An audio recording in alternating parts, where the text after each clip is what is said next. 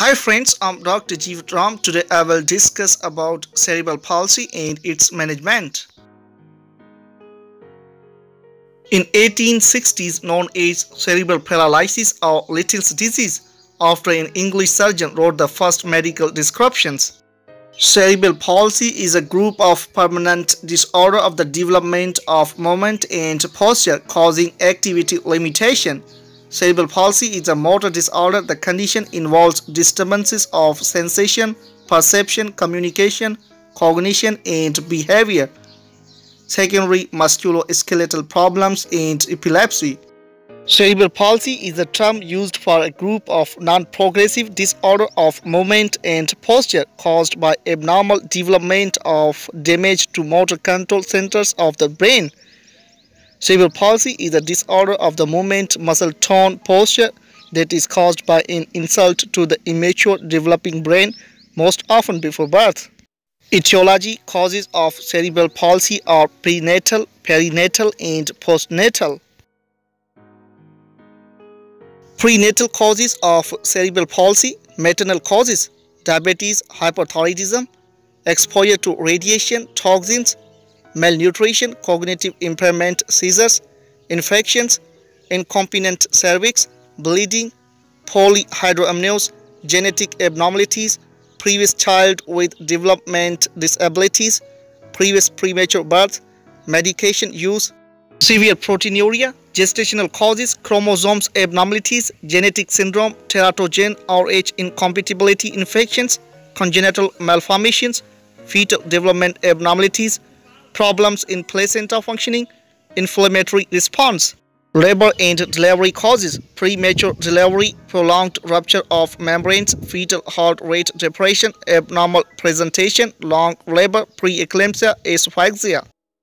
Perinatal causes prematurity and associated problems, sepsis or central nervous system infections, seizure, intraventricular hemorrhage, periventricular hemorrhage, meconium aspiration, number of days on mechanical ventilation, persistent pulmonary hypertension, intrauterine growth restriction, low birth weight, postnatal or childhood causes, brain injury, meningitis or encephalitis, toxins, traumatic brain injury, infections, stroke.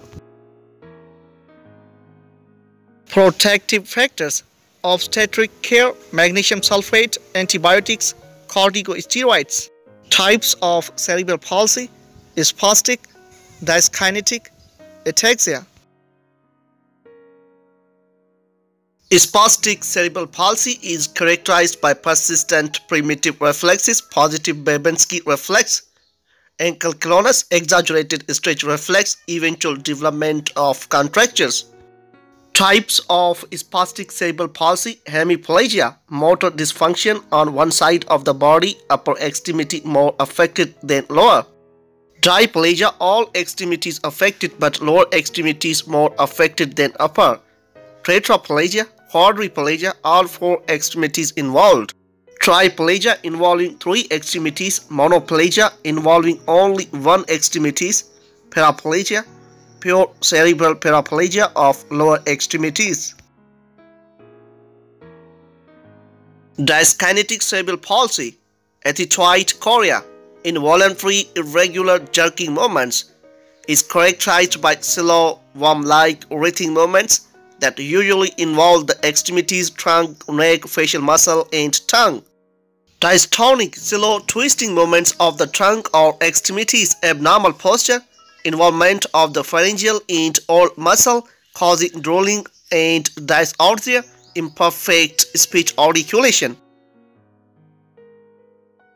Ataxic cerebral palsy, wide-based gait, rapid repetitive movement performed poorly, disintegration of movements of the upper extremities when the child reaches for objects. Clinical manifestation physical signs, poor head control after 3 months of age, stiff or rigid arms or legs, pushing away or arching back, floppy or limp body posture, can't sit up without support by 8 months, uses only one side of the body or only the arms to crawl, clenched hands after 3 months, leg scissoring, seizures, sensory impairment, hearing, vision, after 6 months of age, persistent tongue thrusting. Early signs, infancy 0 to 3 months, stiff or floppy posture, excessive lethargy or irritability, high-pitched cry, poor head control, weak suck tongue thrust, tonic bite, feeding difficulties.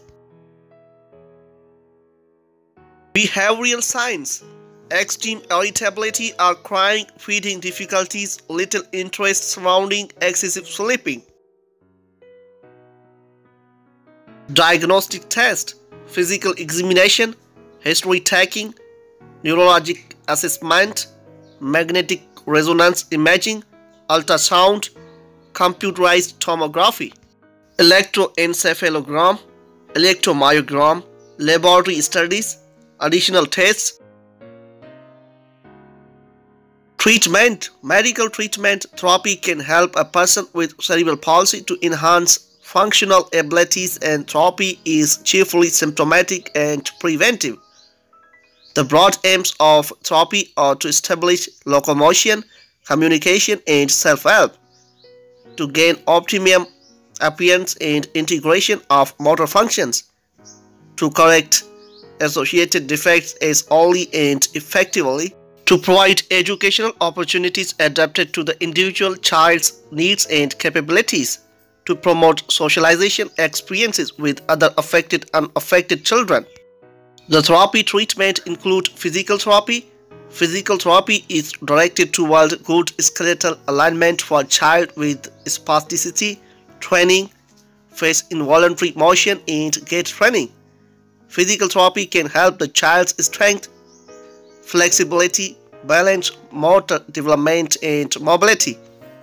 Physical therapy uses orthotic devices such as braces, casting, and splints to support and improve walking.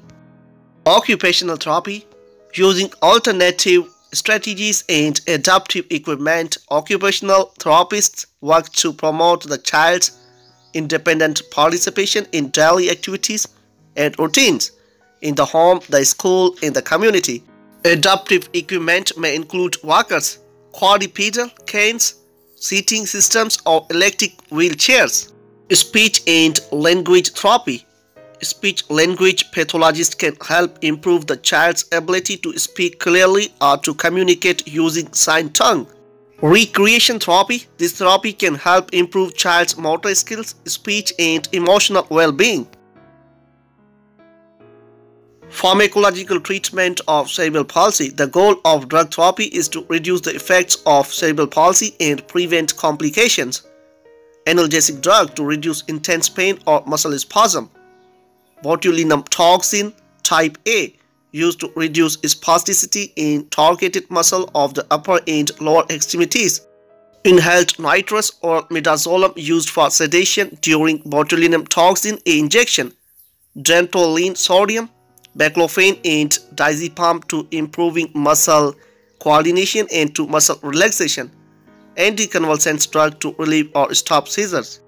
Surgical treatment of cerebral palsy. Surgery used to correct problems with bones and joints by lengthening any muscles and tendons that are too short and causing problems. Orthopedic surgery. Orthopedic surgery may be required to correct contracture or spastic deformities to provide stability for an uncontrolled joint, to address bone malalignment and to provide balanced muscle power.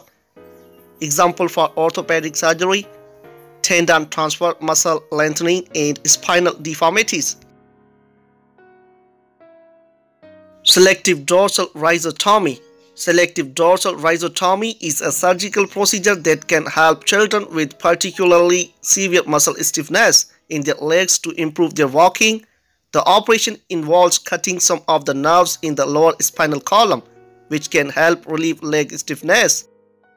Gastrostomy Surgery may be performed to improve feedings, correct gastroesophageal reflux disease and correct associated dental problems